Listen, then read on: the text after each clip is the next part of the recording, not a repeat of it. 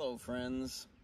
It's a beautiful, bright, sunny day here in the uh, Midwestern United States.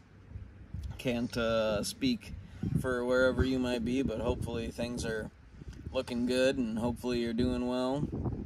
Uh, we're uh, enjoying this uh, lovely, bright, sunny day with a walk in the uh, park here, and we're gonna take that enjoyment to the next level with this little song here. Uh, an old traditional, uh, I mean, it's not exactly a traditional, but it's an old classic song. Um, and it's one that I dearly love. It goes a little bit like this.